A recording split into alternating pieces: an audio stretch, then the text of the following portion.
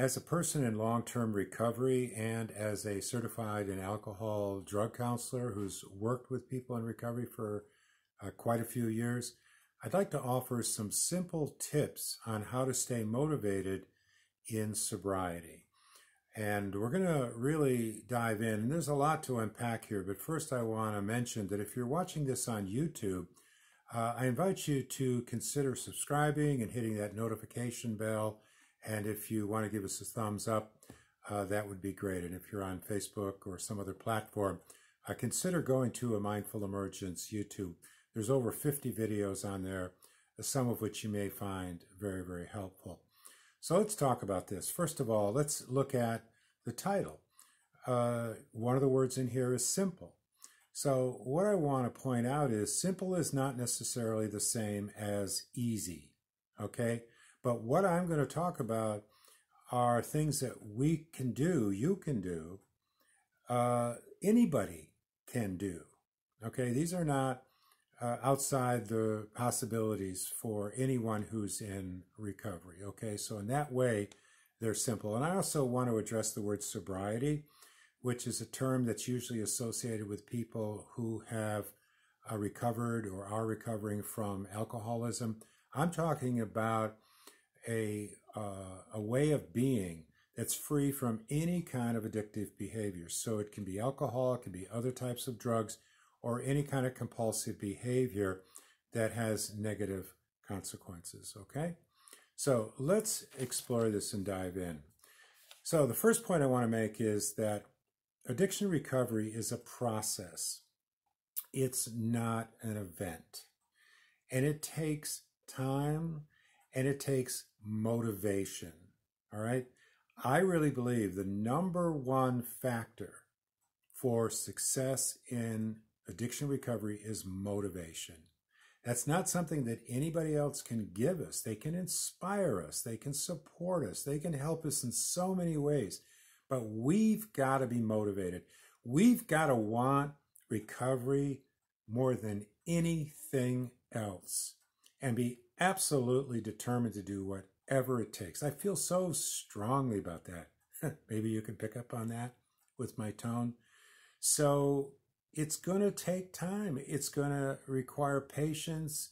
It's going to take a willingness to go through the peaks and valleys of life in recovery. Which brings me to the point. One thing I want to point out is uh, don't trust the pink cloud. All right. So when we stop using, and maybe when our life starts coming back together, we have this, it's called a pink cloud, where we just feel great. Well, I don't want to take that away from anybody. It's really a nice place to be. But you know what? It's not going to last. And I am not trying to be negative. I'm trying to be realistic because stuff happens. Okay. And are we able to ride out these difficulties that we're going to encounter in recovery? People are going to disappoint us. Disappoint us. People are going to die. We're potentially going to lose jobs, friendships. Things are going to happen. So we need to be patient. We need to be kind to ourselves, and we need to practice self care. And I'm going to talk a little bit more about this. And most of what we're talking about is simple, small steps. And I'm not a big person on slogans, but you know that one day at a time, phrase you hear a lot, especially in 12 step uh, programs. It's true. this is really a one day, maybe a one hour, maybe a one breath at a time process that we go through. So I want to offer some specific tips. Okay, these are things that I've learned, and I think they apply for many, many people that I've known. First of all, the importance of community. I see it over and over again when people relapse and I ask them what happened. In almost every case, they stopped going to meetings. They isolated from community. Surround yourself with people who are in recovery and especially have some people who've been in long term recovery, but they don't all have to be long term. But these are people that when you tell them that you're struggling when your ass is falling off, they're going to look at you and not say, Come on, man, get your act together. What's wrong with you? They're going to say, Yeah, I get it. I've been there. I understand. And if you want to know what I've done, I'd be happy to share with you. People that can offer support, people that you can call up when you're struggling, or people that are there in a meeting.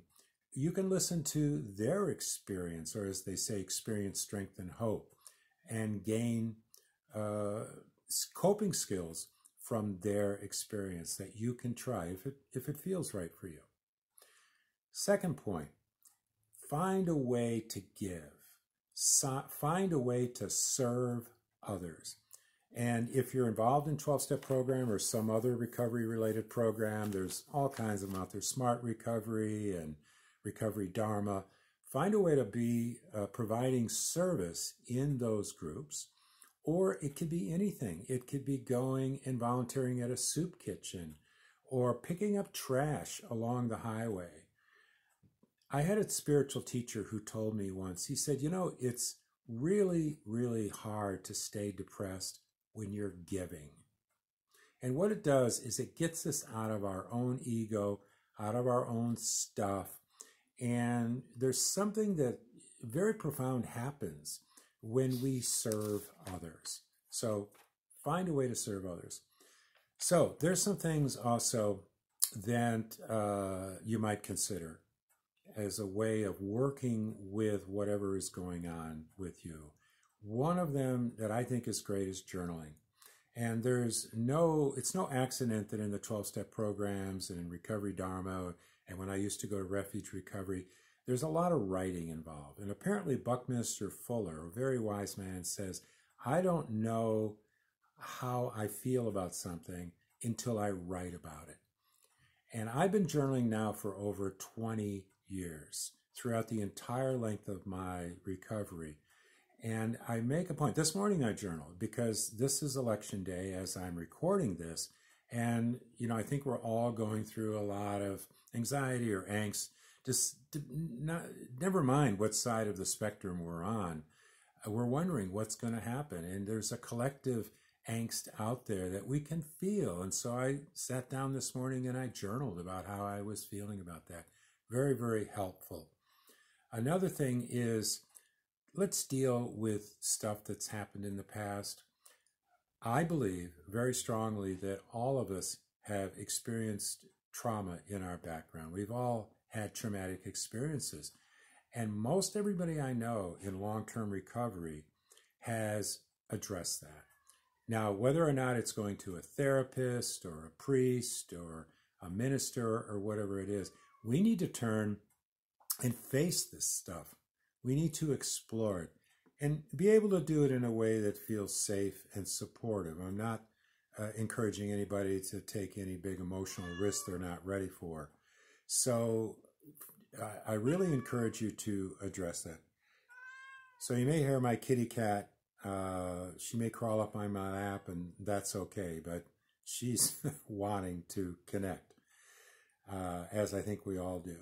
So I really encourage you to deal with that. Another one is get in your body.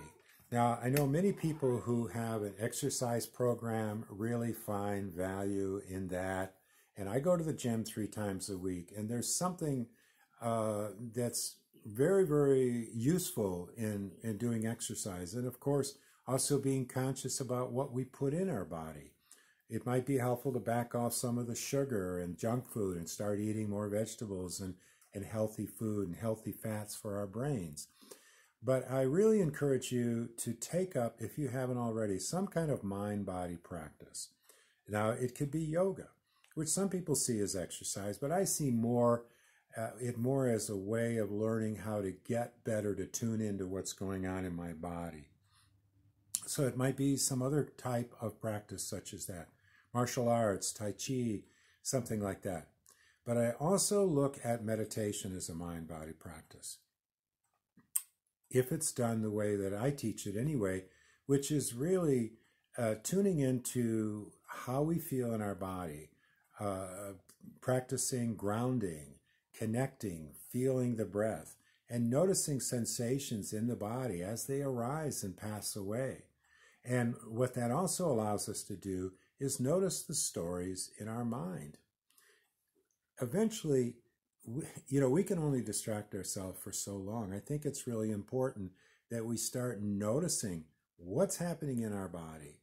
Because, for one thing, emotions show up in our body. Emotions are basically sensations in the body that we put a label to. So, find some type of contemplative practice, some type of meditation practice, and engage in that. And uh, I actually teach a meditation class online uh, every Thursday at four o'clock. And I'll put a link in uh, the comments below on Facebook on how you can access that class.